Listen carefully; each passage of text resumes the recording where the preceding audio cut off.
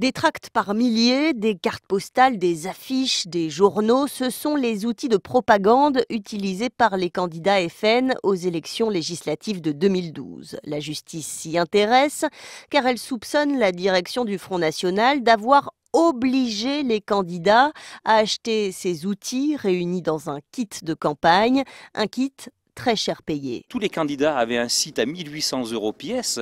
Vous avez des, bulletins de vote, des professions de foi, des cartes postales à votre effigie, des affiches, tout ce qui ne vous sert absolument à rien, mais qui est facturé. Moi, mon kit de campagne de 2012, il est de 16 650 euros. Les juges nourrissent des soupçons de surfacturation et de vente forcée, mais ce n'est pas tout.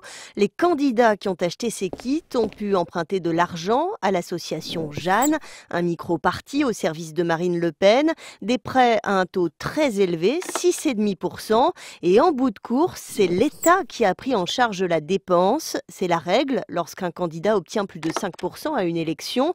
L'État a donc remboursé au candidat le montant du prêt plus les intérêts. Le candidat a ensuite rendu cette somme au micro-parti Jeanne. Ce mécanisme aurait permis de faire rentrer plus de 600 000 euros dans les caisses du micro-parti. Les juges parlent d'une escroquerie. Le FN assure pour sa part qu'il n'y a rien d'illégal.